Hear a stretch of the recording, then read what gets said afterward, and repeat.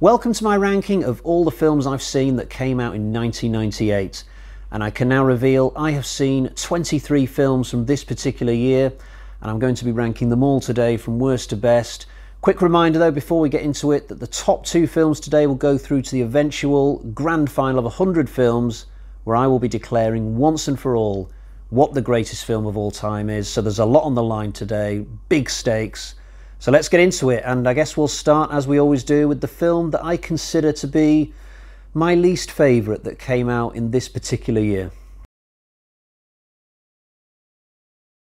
Look away now, Child's Play fans. Yeah, I didn't expect this film to come bottom of its release year, but when I was writing these down on paper, it suddenly dawned on me that yes, this is actually my least favourite film that came out in 98.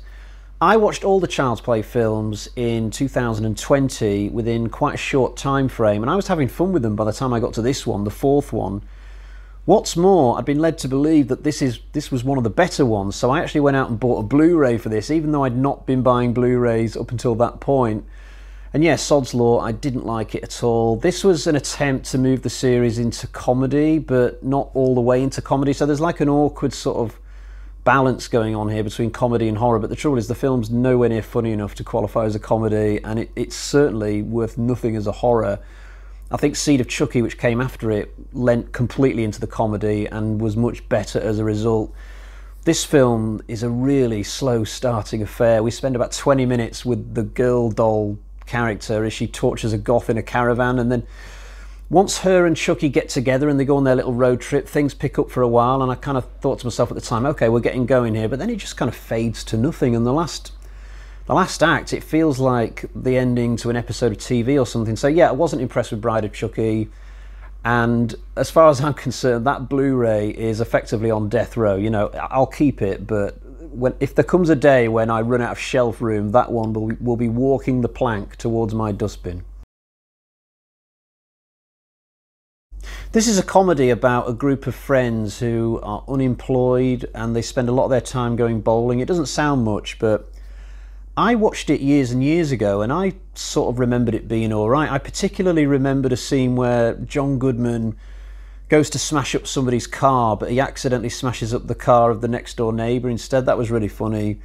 So if you'd have asked me a year ago, what do you think of The Big Lebowski? I probably would have said, yeah, that, that's a pretty good film. But a few weeks ago, maybe a bit longer, one of the channels I'm subscribed to was doing a watch party for this, and I thought to myself, oh, this is a good chance to revisit The Big Lebowski, put it on Sky, and I didn't have the same experience at all. An hour passed, and I realised that I'd not really got anything out of it. I mean, there's still the great scene with the car, and there's one or two other good rants from John Goodman, but by and large, it, it just wasn't for me this time around anyway, so I, I don't know what happened there. I'm not really into comedies. I mean, if you've been following this series so far, you'll know that I tend to put comedies in the bottom half of the ranking a lot of the time. I take my cinema art seriously, you know. I mean, I, do, do you really think I'm going to be amused by a guy walking around with long hair, calls himself the dude? Nah. Oh, look at this, another comedy. I think I saw this back when I was a student. I watched quite a few films communally around about that time. I might have laughed a few more times watching this than I did The Big Lebowski. Not that that's saying much. I do recall the part where the girl's hair sticks up on her head, and isn't there a bit where a guy gets his dick trapped in his zipper when he's on a date? I mean, it's all adolescent humour, but it's harmless enough. I think the film gets a bit sickly sweet towards the end, from what I remember. I, I mainly remember this film though for Cameron Diaz. I mean, this was the film that exploded her into the public conscience I don't remember any of the male characters at all. I only remember Cameron. I don't think I disliked this film from memory, but I don't remember particularly liking it either. I think I would have saved myself a lot of hassle today if I'd have just made this an even top 20 instead of going the full hog and doing a top 23. This was one of Harrison Ford's lesser career choices. He's sort of playing an earthly version of Han Solo in this. He's a pilot, this character, and he's down in the dumps at the beginning of this story. He's a very cynical person, and then he meets Anne Heche, I think is the actress. She turns up at this tropical island with a douchebag boyfriend played by David Schwimmer. and she goes off with Harrison Ford, and they have this little adventure together. I think there are some modern day pirates after them or something. And at the end of the movie, they, they fly off and live happily ever after, leaving poor David Schwimmer to go home by himself, if I've got that right. Around about this time, at the end of the 90s, all the actors who were in Friends were sort of trying to break out and make it in Hollywood with mixed results. Courteney Cox did all right, Jennifer Aniston did all right. The other four, though, and this was probably David Schwimmer's big attempt at doing some big movie, you know, starring with Harrison Ford, but it just ends up becoming the Harrison Ford and Anne Heche show, as, as far as I can recall. So yeah, I, I, don't think this film is worth much. I think it was sort of trying to be the '90s version of *Romancing the Stone*, but it's just not very good. This is another comedy, but I don't mind this one. I laughed quite a few times during this film. We're starting to get into the ones now that I have a modicum of respect for. So this is a UK film about a rugby team, and they're really awful at the start of the movie, but they get involved in this match, this competition or something, and at the end they win with a try in the very last second of the match. You know, it's your typical sports film blueprint, and yeah, there are quite a few funny jokes in this. I watched it with a group of friends at the cinema. We'd actually turned up to watch Titanic, but that was sold out, so we just decided to go into the other screen and watch this random film that we'd never heard of. There was literally just us in this other screening. It, it, it was not a popular film, shall, shall we say. So we turned up hoping for death and destruction on the Titanic, and we ended up getting this light-hearted comedy. So I guess at least we didn't go home bitter and twisted. Halloween is my favourite horror franchise, but H2O is my least favourite film within that franchise. That's not a common opinion, by the way. Quite a lot of Halloween fans do like this film. I've even seen some people put it as high as number two on their personal Halloween rankings, but not for me. In fact, it's possible that the only reason I've even got it at 18th is out of some kind of blind loyalty to the series. If you want an example as to how stupid and loyal fandom is sometimes, I bought a Blu-ray for Halloween Kills the other day for £17, even though I was kind of lukewarm on the film and I saw it at the cinema. But you know what it's like when you're a fan of something and you've just got to complete your collection. I was literally sat on the Amazon.co.uk website the other day like a zombie going, must have Halloween Kills, even though I didn't really like it. And next thing I knew, it was in my basket and getting bought. So getting back to H2O, I just find it a really dull film. The characters are like paper mache. I don't like Laurie Strode's alcoholism in this. I just think she would have gotten over it after 20 years. There's not much in the way of suspense and kills. The teenage characters are absolutely horrible in this. The school setting is completely wasted. It's such a by the numbers slasher slasher film. It's painful, it really is. I don't understand why this film is so revered among Halloween fans. I really don't. I think this is a film that's sort of centered around the Three Musketeers, but it's not actually called the Three Musketeers. I could be wrong about that, but you know what? I don't check Wikipedia before I do these videos. I back myself, you know. I put money on myself to get things right. What I definitely do remember being in the film is Leonardo DiCaprio playing a guy who is freed from a dungeon near the start when he was in this dungeon, he was forced to wear like a metal mask, hence the title, The Man in the Iron Mask. Okay, so it was an iron mask, not a metal mask. When they take this mask off, he's got like hair all over his face from where it was growing underneath the mask. It's kind of gross when you think about it. It's quite a cruel punishment. I mean, is being forced to live your life in a dungeon not punishment enough without being forced to wear a metal mask as well? I don't remember that much else about the film, in all honesty. It's quite a forgettable sort of piece but it's very family friendly. It's the sort of thing that as a nine or 10 year old, you'd be quite content to put onto the TV on a Sunday afternoon and it's not going to offend grandma too much. Lots of comedies in the ranking today, but this is a genuinely really good one. It's another UK effort. It was set in Scarborough, same town where St Maud was set, much more my type of movie. Little Voice, though, is about a young woman who has genuine singing talent, enough to possibly go on and be as successful as someone like Adele, say, I don't know. But she doesn't actually want to sing, that's the problem. She'd much rather stay in Scarborough and raise pigeons with Ewan McGregor. But this guy called Ray Say comes along one day, who's like a music agent. He's played by Michael Caine. Absolutely brilliant character, this, and the way Caine handles the, the role is absolutely magnificent. In fact, the funniest part in the whole thing is when Caine gets up and does karaoke towards the end, and he starts singing this Roy Orbison song. I think it's called "It's Over," but he's just screaming the lyrics into the microphone. He's not even properly singing them because he's so upset that Little Voice, that's the main character's nickname, she doesn't want to go along with his his scheme. And there's another funny moment as well when this agent from London comes up to see Little Voice, but she doesn't turn up, and uh, Michael Caine's race just starts insulting him in the audience. He's like, "Bunny Starmaker Morris, fuck off!" Michael Caine is just fantastic in any role he does, especially in this film. He shines in this film. It, it's brilliant what he does. Uh, Jane Horrocks plays Little Voice, not really an out and out actress generally, but she does very well with this role. It's not often I really love a comedy, but the more I talk about this, the more I realise that actually this possibly could have come higher than 15 today. Very good film. Watch it if you've never seen it.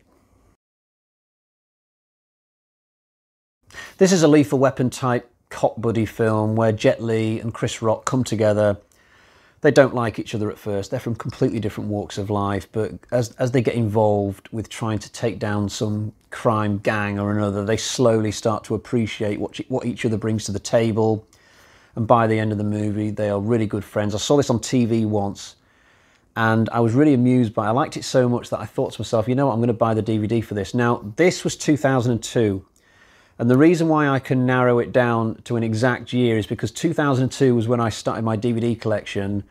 And at the time I decided to buy Rush Hour, I only had three DVDs. That was it. I mean, I've got like hundreds now, but at the time I only had Night of the Living Dead, Demons, and a film called Traffic with Michael Douglas in it. That was it, three films. So I went to this video store one, one afternoon took Rush Hour off the shelf, fully intending for it to be my fourth ever film in my DVD collection, took it to the counter, had my £10 in my hand, and the guy said that they didn't have the disc for it and it was a mistake that the box was on the shelf.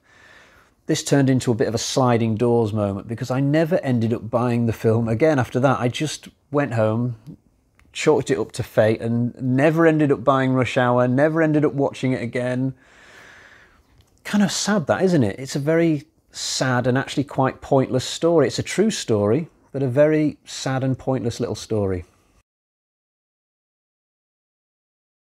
This is a much more serious film. It's a western set in Australia. It stars, I, I think, Guy Pearce and Ray Winstone. Now, I could be completely wrong about that. I'm putting my knowledge to the test again but it's a very good film, this. I really enjoyed it the one time I saw it. What I most remember about it, though, is not Pearce or Winstone, but, but John Hurt. He plays a small role in this. He's only in two scenes, but he's brilliant. He plays like an aging bounty hunter who just randomly bumps into the main character in a bar. It's brilliant. It, it's the sort of film that just reminds you how great John Hurt was. But the film as a whole is absolutely worth seeing. And by the time I finished this, I, I, kind of thought to myself, why can't there be more westerns set in Australia? Possibly there are, and I just don't notice them.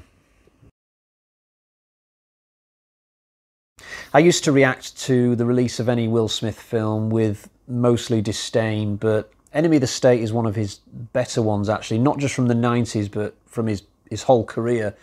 This wasn't silly like Wild Wild West or Men in Black. It was a, it was a good, serious, gritty thriller about a guy on the run from the government through no fault of his own. There are more famous actors in this film actually than you might remember.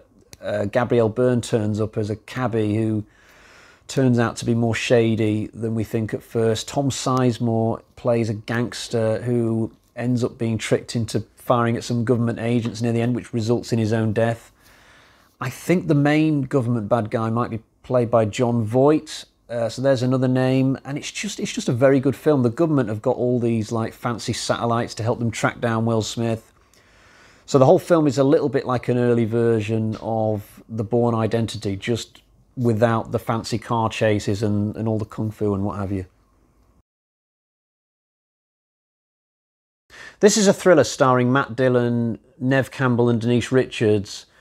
It begins with an accusation of rape, but then the story turns out to be not what you thought it was. There are lots of twists in this film, actually, which is good for a while. It's very absorbing to watch. But I kind of felt that as it got towards the end, there were one too many twists, as if the film was trying to be the twistiest film of all time. And I kind of feel like By the time it got to the halfway point of this story, it should have just stuck with where it was at instead of continuing to try and come up with new twists. That's how I remember the film anyway. Although, having said that, the ending on a boat is very satisfying. The final kill did have me sort of nodding my head, thinking, yeah, I kind of like that. So, yeah, this is an all right film, I suppose. I've, I've never gone back to it, but it is nice to remember that Neve Campbell has done at least one film other than Scream that is really good. I went to watch this at the cinema with a couple of friends of mine and we had a good time. I've never gone on to watch number two or number three, but from what I can recall, it's a good bit of fantasy action. Wesley Snipes runs around cutting up vampires by the score. I've heard that they're going to remake this, but have it be part of the Marvel Cinematic Universe. If they do that, I'll absolutely be interested in watching it because I do like the Marvel films. In fact, if it does become a Marvel film, I presume they're not going to use Wesley Snipes at this point if they do make it a Marvel film, that might inspire me to go back and watch the original Blade trilogy. And remember, two of those films will be first time watches for me. Bizarrely, I think we've got these films on DVD. Now, I didn't buy them. I think my wife did. My wife's not really into films, but when I met her, well over 10 years ago now, she had like a, a, batch of DVDs that she owned. A lot of them were romantic comedies, but she had the Blade trilogy as well, strangely. I've never seen her watch them, but I, I know they're there. I've seen them from time to time. So if I do want to catch up on these films, I guess they are there for me to watch for free. Maybe I should do it. This is a film about a town which gets completely submerged by water, but we actually see this situation develop during the first half of the film. It's not like Waterworld where it's already happened prior to the movie starting. I don't think it's just because of rain that this situation occurs. I think some kind of dam bursts nearby or something.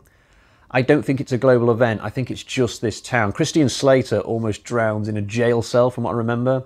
So he's in it. Morgan Freeman, Minnie Driver, back when she was still a thing. It's a good little thriller. Lots of threats pop up other than the water itself. So you've got looters, corrupt cops, uh, at least one rapist cop, and it, it's a fairly unpredictable film. It takes various twists and turns. And I think Morgan Freeman sails off into the sunset with some loot at the end, a bit like Fagin at the end of Oliver Twist. The memory of that sort of amuses me. But this is a good little thriller, absolutely worth watching. It didn't make much of a splash at the time, no pun intended, but give it a shot if you've not seen it. The fourth and to date final Lethal Weapon film, that could still change, but for now it is the final one in the series and something of a return to form after the disappointing third film. I don't mind the third one, but it did drift a little bit too much into comedy for me. This one gets the balance back to how it was in the first two movies, and there are some great moments in this one. The opening scene with the flamethrower guy in the street, that is so random, but it's it's my favourite scene in, across the whole four films, I think. And Murtaugh doing that chicken dance in, in his underpants is just absolutely legendary. And there's, there's another funny moment halfway through the film where they start taking helium and they all start laughing and the truth starts coming out about various things. That's absolutely brilliant as well. And I like the final fight with Jet Li. It's just about believable that the two of them could take this guy on. I suspect in reality it still wouldn't be enough. I think you would need Chris Rock's character as well. I think possibly he should have been there. I think the three of them going at this guy, it, that would have been perfect. But as it is, it just about works. And all the family stuff you get to finish the film off is, is kind of sweet. And Joe Pesci's character, Leo Getz, he finally gets a bit of respect towards the end. It's a great ending to the series, this, what you get at the end. So it, it makes me slightly nervous that they're possibly planning a fifth film, but I, I guess I won't judge it until I see it. This was one of the first films I ever reviewed on the channel. I think it was like episode 14 or something. And I had intended on at least watching the rest of the, the series because the, I think there's about six or seven of these. There's like Ring 2, Ring versus Grudge. That There's all kinds of sequels and prequels and crossovers and stuff. But I lost interest a bit halfway through the second film, so I didn't go on with it. I'll say as well that I actually prefer the American version of this, which wouldn't come out until about 2002, 2003. I thought that was one of the most creepily effective films that I saw around about that period. And I've got to say the Americans did really well with their remake on this one. Sometimes when a film gets remade, it's like, what's the point? You can just watch the foreign language version. But in this instance, yeah, the American one's really, really good. I actually don't think either one of the two versions is better than the other. I think it's a, it's likely to be a case of whichever one you watch first will be the one for you. And in my case, I watched the American one first, so my heart is with that version because there are certain thrilling things that happen in the ring which if as long as you don't know what's going to happen going into it you'll find it absolutely amazing i think especially if you're a horror fan but when you then come to the other version you sort of know what to expect even though obviously the script will be slightly different and the scares will be done in, in a slightly different way but for me i saw the american version first that's the one for me so when it comes to the japanese version I respect it, but it's not likely to be one that I'll go back to in the future. But hey, it's still made the top 10 today. This is a horror film along the lines of The Body Snatchers or The Thing. As high school horror films go, it's much better than Halloween H2O, which is also in this ranking. I've seen the movie twice. Neither of those viewings were recent, so my memory's struggling a little bit on this one. I just remember it being really good, really entertaining. Josh Hartnett's in it. I don't remember any of the other cast. One strange thing about this film, when I first watched it, when it got to the end credits, there's an Oasis song, Stay Young, and I was familiar with that song at the time, so I thought to myself, oh, cool, they've put Stay Young on the, on the end credits, brilliant. And then I watched the film a second time a couple of years later, and they had a completely different song on the end credits. I don't think I've ever seen that before with a movie, so I don't know what was going on there. They, they clearly did two different versions. Why? I don't know. What was wrong with Stay Young that they suddenly had to replace the song a couple of years later? I've tried to look for information on this online. I've typed in different song end credits, The Faculty, and I can't find a thing. So I don't know. If you're like some kind of die-hard The Faculty fan and you know more about this, please let me know. I'd be fascinated to hear it. The mileage you get out of this will largely depend on whether you're a fan of the TV show, and I am personally. So I enjoyed the movie. That's why it's number six today. If you try and watch it without having seen the TV show, I don't know. I guess you could enjoy it because I, I know they tried a little bit to cater to the casual cinema go with this. They tried to make it accessible, but for maximum enjoyment, I think you've you, you've got to have seen the TV show really.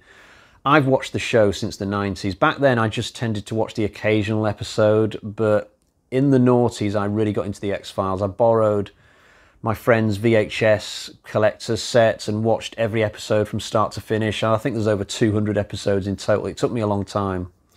And at some point after that, I bought my own DVD versions, but they don't really get watched anymore because if you want to get into this show, all the episodes from the entire run are available on Disney Plus, and they're proper HD versions as well. So if I'm watching the X Files now, I'll just watch it on Disney. I won't even bother getting my DVDs off the shelf. Plus, at one point, one of my dogs chewed up the season two box. So on my shelf now, it just looks a bit crap. Like season one, season two, horribly chewed up, and then all the other seasons.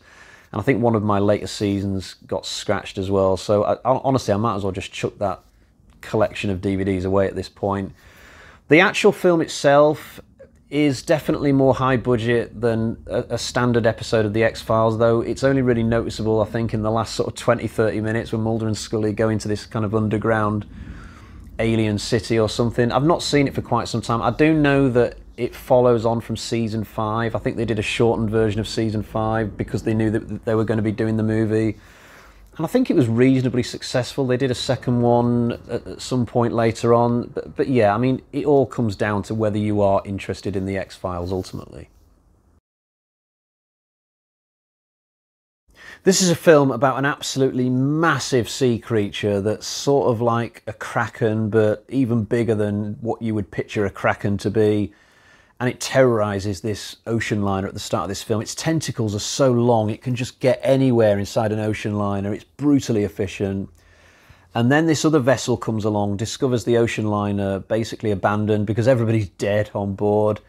And there's a bunch of crook crooks on this boat and some good guys as well. They get onto the ocean liner, and then once they realize what the gist is, they've got to survive the creature as well. But this thing is just incredibly hard to overcome. Characters die off very quickly in this film and in very gory ways. It's got a nice atmosphere though. Treat Williams plays the lead. He is absolutely a star. I don't know why he didn't have a bigger career. Famke Janssen is in this film. This would have been one of her first films post Goldeneye. She still look, looks in her absolute prime And the film's got a very funny ending as well, which I won't spoil. I'm really into my aquatic horror films, and this one really does the business for me. Northern Monkeys, Southern Fairies. This is one of the best crime films I've ever seen, and it's funny as well.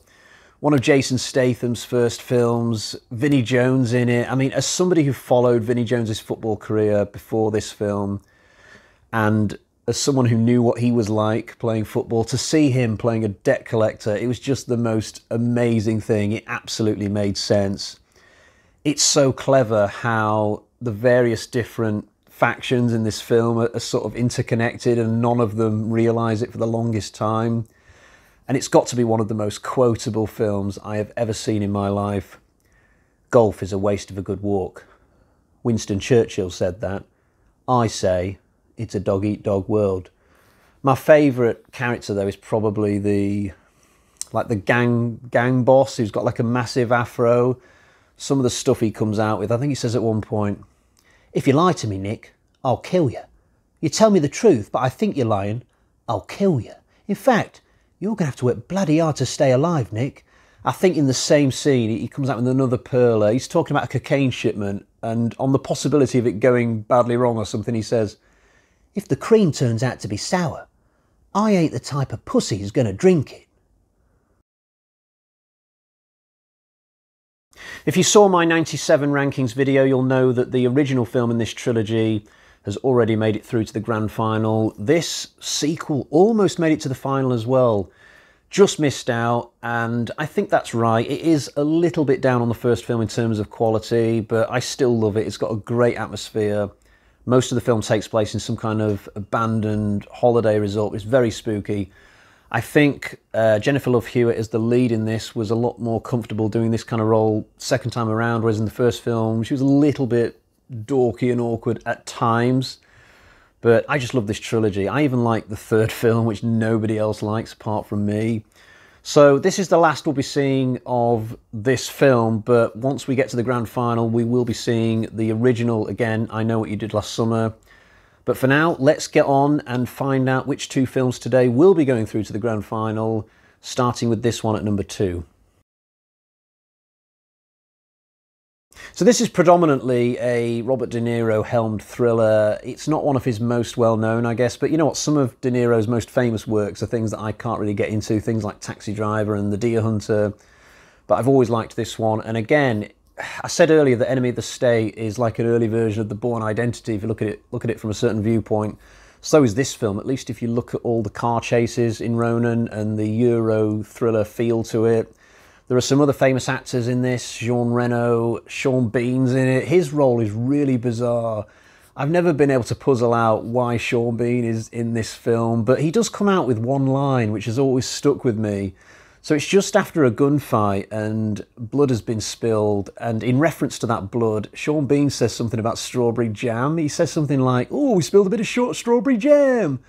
I can't remember the exact line. It's probably not quite that, but it's, it's in that ballpark. And sometimes when I'm playing Call of Duty or something, I'll just randomly hear Sean Bean in my head going, Oh, we've spilled a bit of strawberry jam. Yeah, I know I'm a bit of a weirdo, but just, just go with it. So, Ronin is a cracking film. If you've never seen it, absolutely check it out. It's it's got a very unpredictable script. You just don't know within this gang that De Niro gets involved with who's on a level, who might be betraying them. It's a really really fun effort. So this is my number one for 98. Saving Private Ryan is surely one of the best war films ever made. I was excited to see this from the minute that I started reading about it in the newspapers. And when I finally did see it, it did not disappoint. This is an absolutely epic, amazingly good war film and I think the first 20 30 minutes is possibly the best thing about it. There are things that happen in Schindler's List which really hit you when you realise that these monstrosities actually did happen during World War II. You get something else just like that at the start of Saving Private Ryan. I mean, imagine how horrible it must have been to get called up for war, do all your training, cross the channel, land on this beach, and then the door to the boat opens, and you just start getting gunned down, and you didn't even have a chance. It must have been absolutely horrible for those guys. And I think it's even in the script as well. Somebody gets on the beach and just shouts out, "Give us a goddamn chance" or something, and and you actually feel for the guy. You've got another guy lying on the beach with his guts hanging out, calling for his mum. It's such an effectively harrowing sequence, and you get a nice end to it, which is weird, I guess, because some of them do make it up to the bunkers and they do take out the Germans. They're shooting them, and burning them, and stuff. So you sort of get a happy end to the whole action sequence. But yeah, it's one of the most incredible starts to a film I've ever seen, and I think most of the rest of the film after that point is fictional. And the film could have gone downhill after that point, but it doesn't. You, you get to follow Tom Hanks's character as he leads a band of merry men across country, and then you get this incredible battle at the end. There's one other bit though that makes me sad as well, which is when one of the main characters has his own knife turned against him, and this German just slowly pushes it down into this guy's heart, and all the time this guy's sort of whimpering and begging for his life. The way it's filmed, it, it really makes me sad when I'm watching that part, but on the whole, absolutely love this film. I think it's just an amazing war film, well worthy of being my number one today, and we'll see it in the grand final further down the line. Right, so that brings us to the end of the rankings. There is one more question left to ask. I've got quite a few for this year actually. I've got five, which is more than I normally have. I need to get off my arse and watch them really. So one of them is a film called Sphere. Another one, US Marshals, the sequel to The Fugitive. Species 2, quite enjoyed the first one, never got around to watching the second one, I should. Soldier, a film with Kurt Russell in it, and Vampires, uh, one of John Carpenter's later films, which apparently is alright, so I need to watch that. So yeah, quite a few films there. Um, I'm, I'm really going to have to watch those at some point. So that brings us to the end of today's video. That was my favourite films from 1998. So we have Ronin and Saving Private Ryan going through to the grand final. Join me soon where I will be doing a similar rankings for 1999. Until next time, cheerio.